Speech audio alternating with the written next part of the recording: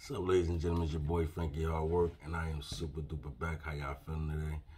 So, I want to speak on something that's been going around lately.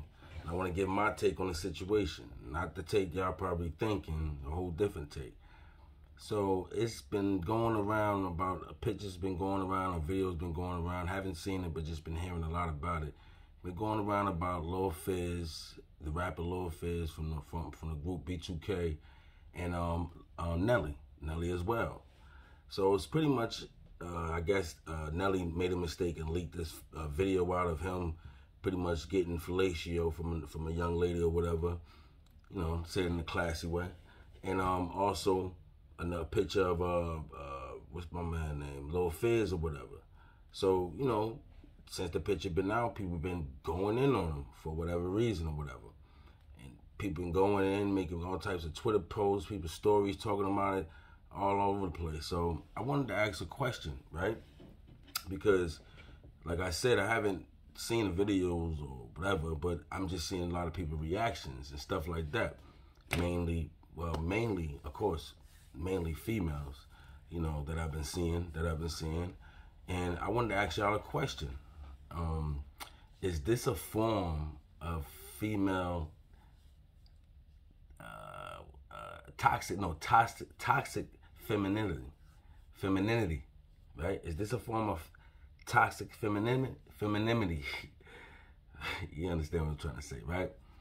Because, like I said, there's a situation going on about Nelly and Lil Fizz or whatever, about their situations, whatever, and I've been seeing women speak on, of course, West, what you see speaking on it, but they've been getting body shamed.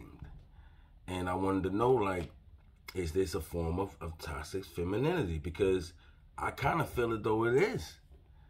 I mean, call it what you want. I kind of feel as though it is. I, I have to say this because the reason why I'm speaking on this because, you know, what if this was what if the shoe was on the left foot in the situation? What if it was, there was this happened to a female where she put out a video or she didn't put it out, but whatever got out to two different females and people judging what's going on with their body and you know they they the inner circle and what's going on there. It looked too big, it looked worn out or whatever.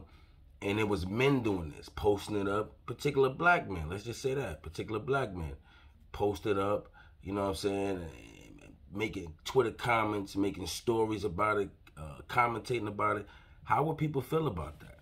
That would be a form of toxic uh, uh masculinity, right? Especially if it was black men doing this. I'm not trying to make it a race thing, but this is what I'm seeing. So I'm speaking on that.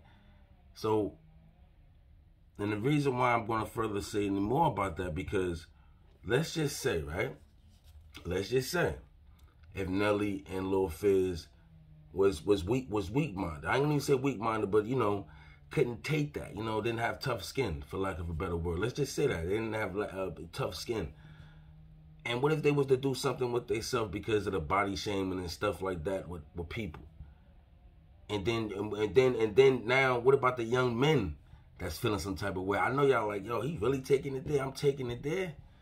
I'm taking it there because we gotta start like I said, when certain come to certain things, I'm a devil's advocate when it comes to certain things because if the shoe was on the other foot and this happened to a celebrity, particularly a young celebrity, this was they body shaming they saying all types of stuff, and then that celebrity was to choose to do something to him, then we'll be talking about mental health. You understand? We'll be talking about mental health and we'll be saying, why would they body shame people, this and that, this and that. Now, just the other day, I made a video about um, AJ Johnson, the woman from Baby Boy, the mother of Baby Boy, right?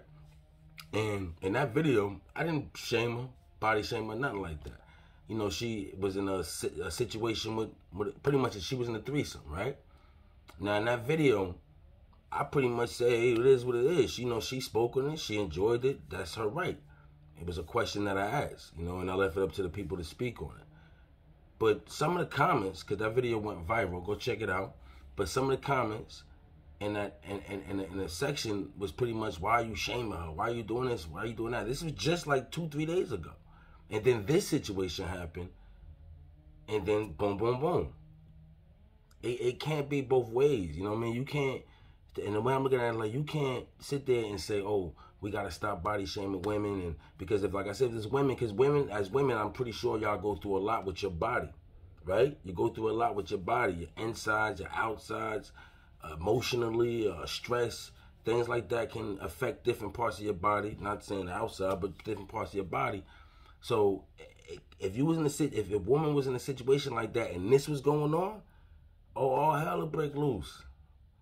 So it's just something to think about. I just want to know, do y'all believe that this is feminine toxic, toxic, uh, toxic femininity? It's hard to say that word. Toxic femininity, right? Right? So do you do you believe that's what this is? Because it's a good question. It's something to talk about. Let me know in the comments how y'all feel about this, because we all know if this was something totally different, we'd be out here going hard at the men. Like, how could you do something like that? Da da da da da. Women body is this. Women body is sacred, and it is. But at the same time, let's let's not forget now, we all humans at the end of the day. So something I wanted to take a talk about. It's your boy Frankie Hard Work. I need y'all like, comment, subscribe, and I, I definitely need y'all to let know. Um, I need y'all opinion on this one and share the videos as well because it's something good to talk about. All right. Follow me on IG, Frankie Hard Work One, and check out my brand, Hard Work Uni underscore. And y'all just take care of yourselves. Just give you a little something to think about, all right? Peace.